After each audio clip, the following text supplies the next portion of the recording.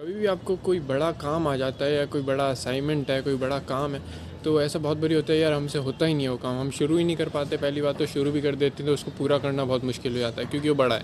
तो इसको करने के लिए एक अच्छा तरीका होता है कि अगर आप इसको तोड़ लो छोटे छोटे पार्ट्स में उसको तोड़ लो और ऐसे फिक्स कर लो कि आज मैं इतना करूँगा, कल इतना और परसों इतना। एक सेट टाइम फ्रेम बना लो कि ऐसे करके पाँच दिन में कंप्लीट हो जाएगा। तो ऐसे करके डिसाइड कर लो, एक दिन में कितना, दो दिन में कितना, तीन दिन में कितना, ऐसे करके।